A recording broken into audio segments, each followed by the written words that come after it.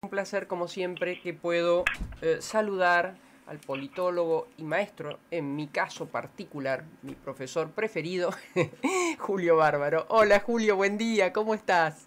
Bien, bien, bien, muy bien. Gracias por la presentación. No, no sé si vos te arrepentirás, pero qué, qué, qué de lo que digo, pero bueno, fuiste mi profesor y tengo un recuerdo tan claro de esas clases, ¿no? Bueno, te, te, llamo para ver si nos ayudas a eh, analizar el día de ayer. El día de ayer con, con Alberto y nuestro presidente y bueno, todo, todo lo, empresarios, sindicalistas, gobernadores, eh, categorización de gobernadores y eh, los banderazos de un lado y de otro. Yo anoche fui al, al programa Nueva Edición, ¿no? Ajá. Pucha, no te vi. Este, tarde, es una... Pero hay una cuestión que es la siguiente. Alberto no logra estabilizar una política. Mm. Entonces, te empresarios, te junta todo, y después viene Miriam Lego y dice una estupidez sublime, después viene otra y te explica por qué lo jubiló a Vudú. Y parece que el gobierno perdió el sentido de los gestos. Los gestos son muy fuertes para una sociedad. Un gobierno que tiene un ala kirchnerista armada entre Zaffaroni y Berbigi, digo, se tiene que aguantar ese espanto que son esos señores. Mm. Entonces, después viene él y como, digo, pero vos tenés que preguntarte cuál es. Yo te digo, esta, este talento que tiene Boris para decir el, de los lunes, de los martes, de los miércoles, es así. Entonces no hay un Alberto. Él ganó porque venía a pacificar, porque era mm. más que Cristina, más amplio que Cristina. Ahora, hay momentos en que vos decís, primero, el gabinete es más cercano a la lástima que, que, a, la política. Mm. Nadie te deja de decir que el gabinete da pena, ¿o no?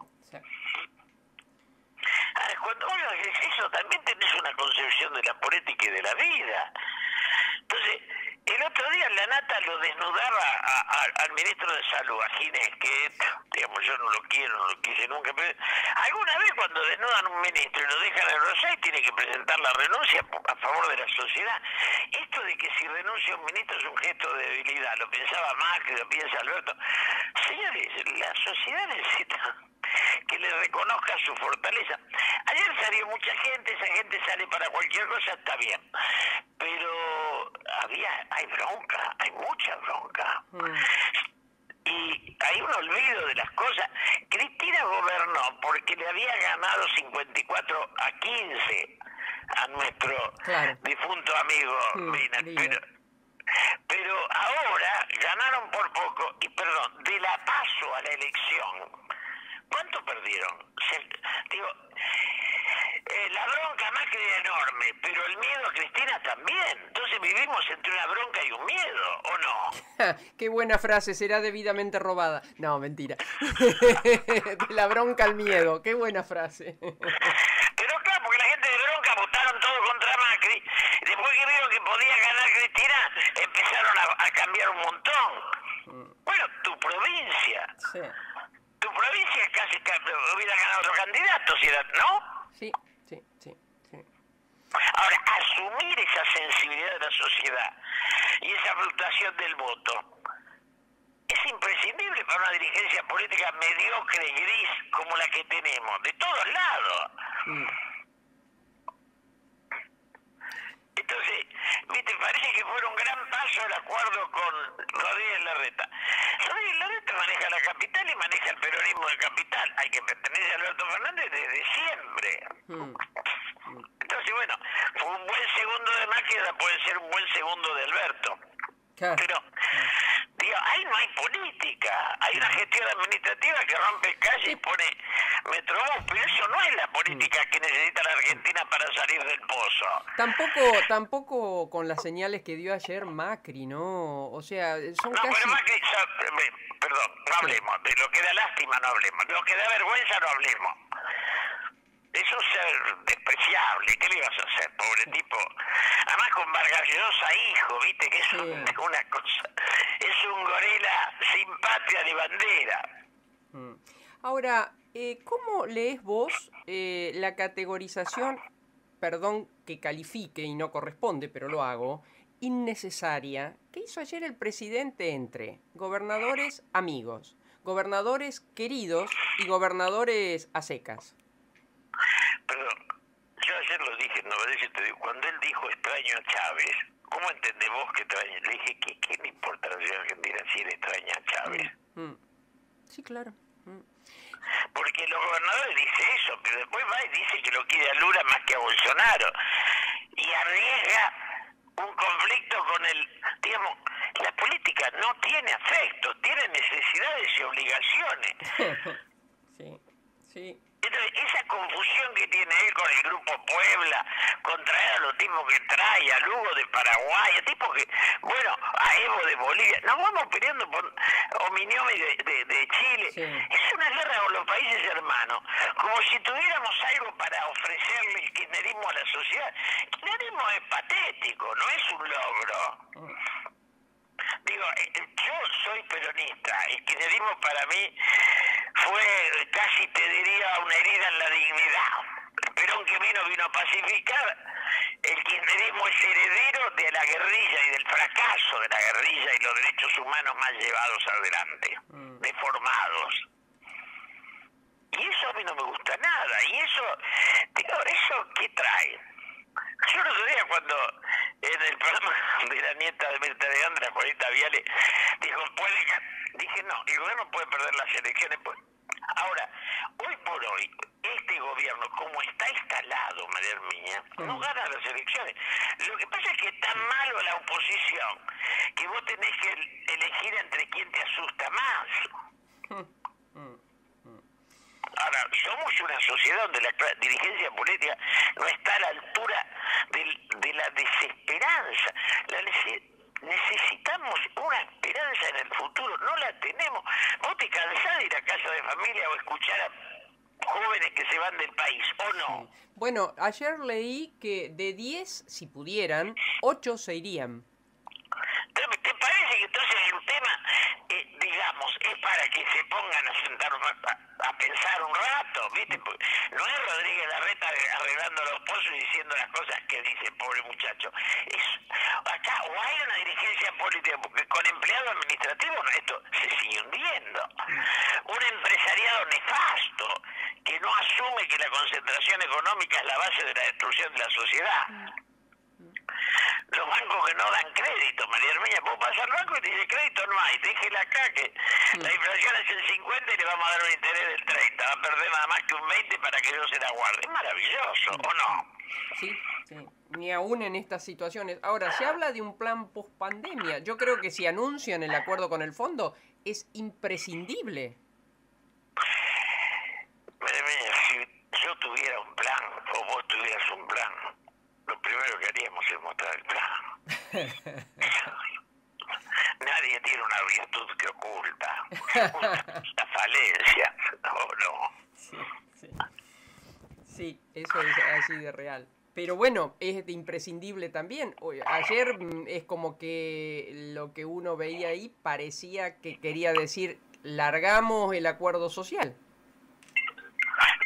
Pero eso que que decían ahí no era, este, digamos, largamos el acuerdo social, pero, eh, digamos, eso para eso se necesita una madurez y una cosa que hoy no tienen. Mm. ¿Qué quiere que te diga? No tienen. Ahora, eh, ¿qué, ¿qué, vemos? Porque en una época la Liga de Gobernadores, eh, bueno, era interesante desde el punto de vista, yo no sé si ponía presidentes, pero sí acercaba acercaba, decidía. Hoy eso no, no, no sé qué ves vos, yo no lo veo. Eh, primero, la decadencia argentina es pareja y hay decadencia en los gobernadores. No hay gobernadores de estatura. No. Quizá el gringo se murió de la Sota y queda Schiaretti. Queda Córdoba, que es un peronismo capaz de conducir una provincia de clase media lo tiene Santa Fe, porque Santa Fe entra y sale, digamos, ¿no? este Pero Córdoba es el peronismo que vos podés decir, es el peronismo para una sociedad de clase media, porque Claro. el peronismo para la provincia, para el Chaco tenemos 20 capitaniches, pero eso es casi más para vergüenza que para la administración pública. Entonces, no hay gobernadores fuertes. Te digo, queda el último, el de Córdoba, el gringo Schiaretti. Los no hay esa solidez que tuvieron en otro momento gobernadores que tenían un pensamiento. Hay políticos. ¿Qué le vas a hacer? No hay políticos que vos lo puedas sentar en un, en un salón y que diga usted hable media hora sobre su proyecto de sociedad. Claro, claro. Y del otro lado, igual, ¿no? Eh, yo el otro día, y Del no, otro lado peor, peor. Sí, no, no puedo, no puedo revelar, como, como vos me enseñaste, las fuentes, obviamente, no lo haría nunca, pero eh, un distinguido hacedor de la política del radicalismo me dijo, eh, nunca, o sea, hoy por hoy la política está en un pozo. Está en el pozo. Eh, no me gusta, pero hoy por hoy los míos, los, los del otro, eh, estamos todos en un pozo. Yo hablo casi todas las semanas con Mario Negri. Mm. que lo respeto y nos respetamos y nos reímos y nos queremos. Pero y decimos esto, ¿no? La necesidad de salir de ese pozo, Mm. porque vos ves, yo, que- yo te digo, lo de Miriam Lewis el otro día, yo, no, yo me parecía un chiste de mal gusto. Sí, sí, sí. ¿Para creen que es un detalle eso o es una provocación que lo hacen para ver si hacen la Bueno, revolución? vo- ¿Eh? vo- Vos decís Miriam Lewis y ayer la metí de pata que hizo a través de otra de las mujeres asesoras del presidente, mm, la de la de cadena Radio Nacional y demás, cuando le dijeron que repusiese el nombre de Mercedes Sosa en Tucumán en Radio Nacional y nunca había dejado de estar allí. Ah, no, bueno, pero eso, la televisión pública. yo la con el, el tema de los derechos humanos, como si este fuera el tema de la gente con la pandemia de hoy, es el tema de ellos. Mm. Es el tema de ellos con el cual hicieron un- un- una estructura política desde ese pasado, que además en el 99% no es de ellos.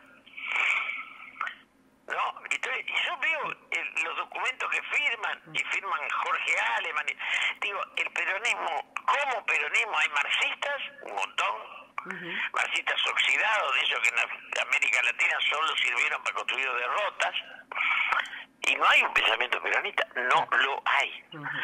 Tampoco hay un pensamiento radical que se vaya imponiendo por lógica, Claro. que, que no es el de los... Digamos, la política en alguna medida en los últimos años enriqueció su dirigencia en contracara de empobrecer a la sociedad. ¿No ves entonces luz al fin del túnel? No, bueno, si alguno la ve que me llame y me avise. Creo, María Armiña, no es por ser pesimista, no hay luz al final del túnel. Yo anoche le decía, me crié en un país con un 5% de pobreza y habito en uno del 50%. 45 años de decadencia en estado puro, 45 años.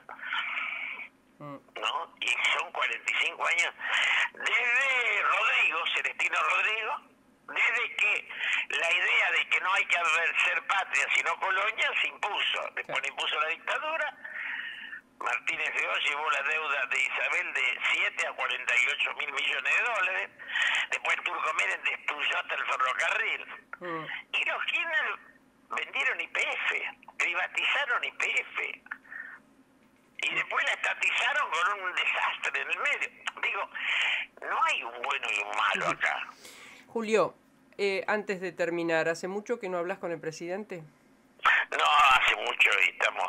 Yo, no, no, el presidente no le gusta la gente que opina distinto y creo que habla con los que representan otros sectores.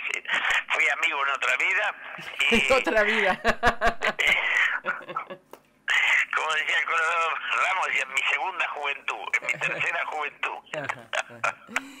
Pero no, no hablo, eh, no estoy en contra, creo que eh, se conforman con ser mejores que Macri, lo cual siempre termina en una cosa difusa, porque no sabés quién es peor. Pero toda la discusión de los argentinos es quién es peor. En quién es mejor no se anota nadie. Gracias, Julio. Un abrazo enorme. Gracias. Un beso. Bueno, Julio Bárbaro, este, con su forma de decir, eh, sin, sin pelos en la lengua, ¿no? Su, su mirada. Y bueno, em, muchos se enojan, Eh, pero Julio Bárbaro siempre, nunca sacó los pies del peronismo. Empezando desde el peronismo con el cual fue eh, diputado con el propio Perón. Eh, y después, cada vez que un gobierno propio le pareció que desbarrancaba, se fue. Se fue. Nunca buscó cargos. Y cuando los tuvo y no le gustó, se fue.